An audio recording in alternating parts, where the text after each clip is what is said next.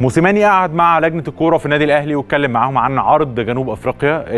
الإعلام اجتهد في الفترة اللي فاتت عشان يقول إنه آه، موسيماني جاله عرض من الاتحاد الجنوب أفريقي علشان يتولى مسؤولية آه، منتخب جنوب أفريقيا. آه طبعا هو آه، جاله عرض. اتفاوضوا معاه من أول إبريل واتكلموا معاه على إنه أنت كنا متكلمين معاك من فترة وأنت كنت ساعتها مع سان داونز وقلنا لك إنه أنت على الرادار أو أنت على الخريطة.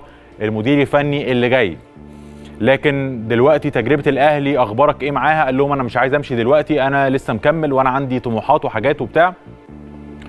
وهم ساعتها قرروا إن هم يتفاوضوا مع أطراف تانية.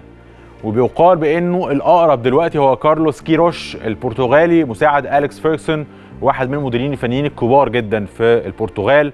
هو اللي هيكون قريب جدا من تولي آه، تدريب منتخب جنوب أفريقيا. لكن موسيماني كان على رادارهم آه طبعا واتكلموا معاه وأكتر من حد اتكلم معاه. آه، رئيس اتحاد الكورة هناك وأكتر من مسؤول كبير وأقنعوه بأنه الطبيعي إنه بعد الأندية تدرب منتخب جنوب أفريقيا وإحنا داخلين على كأس العالم وداخلين على على على بطولات كبيرة وأنت معانا وهنعمل وهنسوي.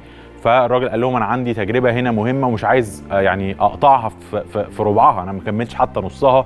ف آه، ولا طبعا لجنة الكورة بقيادة كابتن محمود الخطيب رفضوا رفض قاطع رحيل موسيماني في الفترة الحالية ويعني القصة اتقفلت. عشان بس الاجتهادات الكبيرة اللي الناس كلها بتتكلم فيها القصة اتقفلت. موسيماني لن يرحل عن تدريب النادي الأهلي وهم هناك خلاص ريسيو بأنه الراجل مش عايز فبالتالي هيكون كارلوس كيروش البرتغالي هو المدير الفني القادم لمنتخب جنوب أفريقيا.